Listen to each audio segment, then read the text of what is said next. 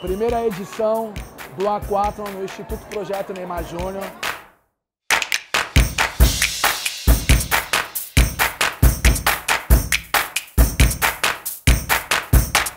Hoje aconteceu o A4, a experiência foi única. É, essa oportunidade que o Instituto Neymar está fornecendo aqui pra gente, é, eu só venho agradecer.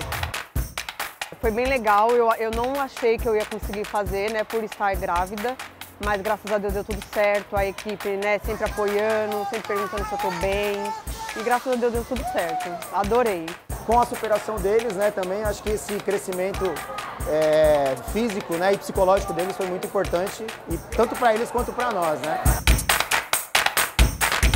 Que é um desafio bem grande para quem não tem uma vida esportiva tão frequente e o Instituto proporciona isso para gente, é muito legal.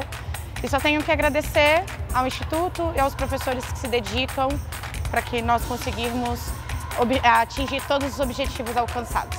Obrigada.